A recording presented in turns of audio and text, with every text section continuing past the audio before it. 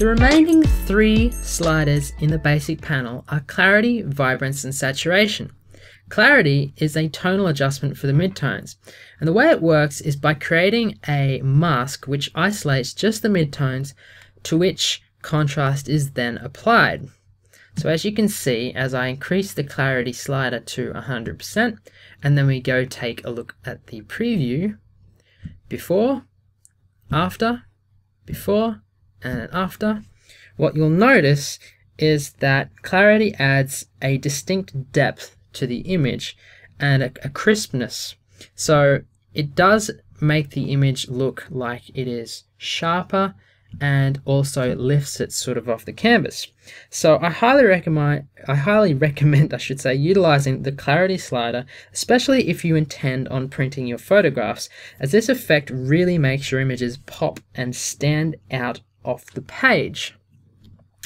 Now, if you want to add more clarity than uh, plus 100, the other way of doing this is to go to the adjustment brush and click on that or hit K on the keyboard.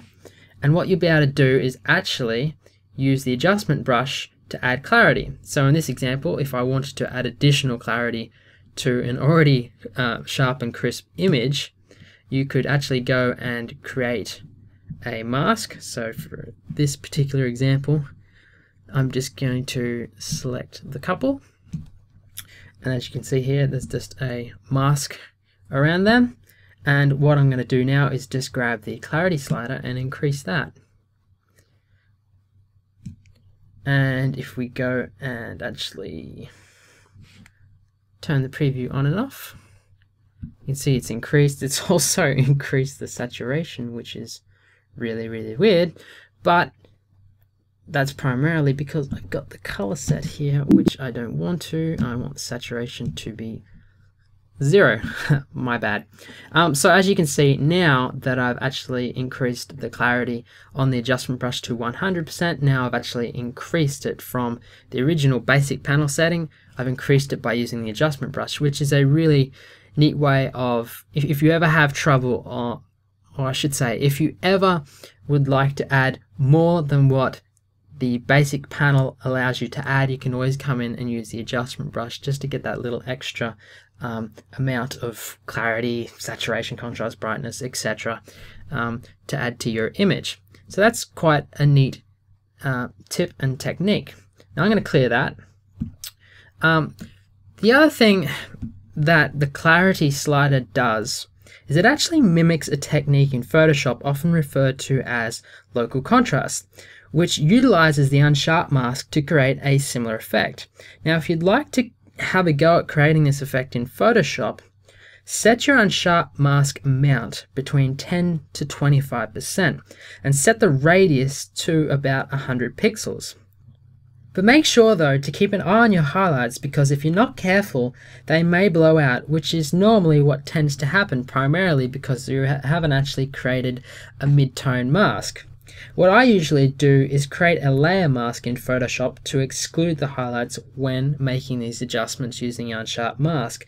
Now, underneath the clarity slider is vibrance and saturation. Now these two sliders both control the amount of saturation in your image. Now the saturation slider itself is very similar to the hue and saturation adjustment in Photoshop, uh, except it does have some limitations. It's primarily an overall adjustment of saturation to your image, which you may not always want. You may particularly only want to add saturation to certain areas of your image as opposed to all of your image. Uh, one way around this is to use the saturation tab in the hue, saturation and luminance panel, which is up the top here.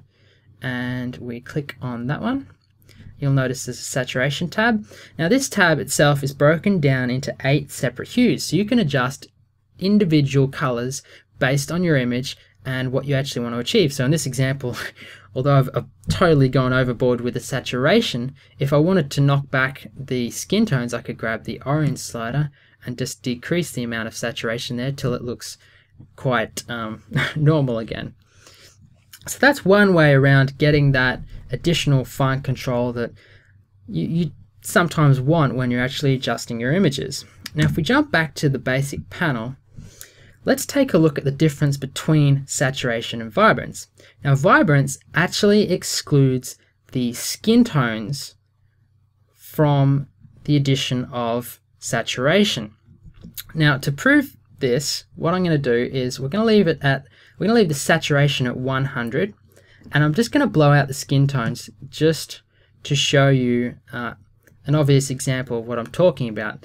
So we can see some clipping there is, is entering around the face the facial area we've got it's highlighted in red and it looks quite hideous and there's quite a bit of noise in the hair um, but what I'm going to do now is I'm going to drop the saturation from 100 down to 0 and I'm going to grab the vibrance slider and I'm going to increase that to 100 so what you'll notice here is that there are no areas blown out around their faces. So as you can see, it excludes saturation being added to skin tones, which is extremely useful if you shoot a lot of portraits, weddings, or just people in general, and you don't want to add that much saturation to their skin tones. So that's the vibrance and saturation sliders. In the next video, we're going to take a look at the curves panel and just what it's capable of doing for your images when you're making edits in Camera Raw.